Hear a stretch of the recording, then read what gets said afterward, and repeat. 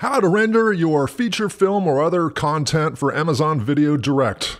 Now, first of all, Amazon is fussy, fussy, fussy about codecs and wrappers and all this BS. If you don't do it properly, that you'll get a reject notice about uh, four weeks later, and they, they won't even send you an email. You have to log in, and then you'll see this error message. And a lot of times it'll be just a generic message. They won't tell you specifically that what you did wrong, so you have to email customer support and wait another two days to get a, an exact answer. For example, they say they accept H264 with a .mov wrapper. I did that, and then I tried using FFmpeg, a command line utility. Each time I got a reject notice. So finally, the format that I used that worked for me and they accepted was Apple ProRes 422 HQ.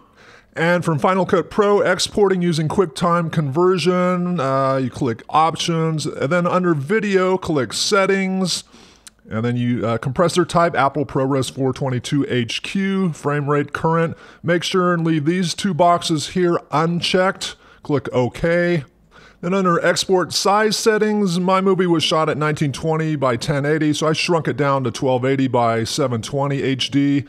And make sure and you check off preserved aspect ratio using letterbox if required. Also check deinterlace source video.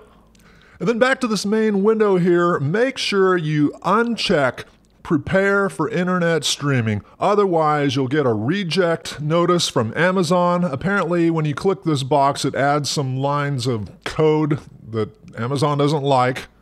But then you just go ahead and render it. And oddly enough, Apple ProRes 422 HQ actually renders faster than these other formats like uh, H264 and MPEG 2.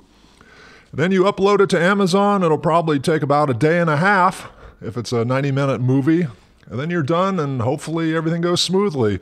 By the way, if you found this video remotely helpful, please click the subscribe button. I'm trying to get to a thousand subscribers so that I can rent my movie on YouTube.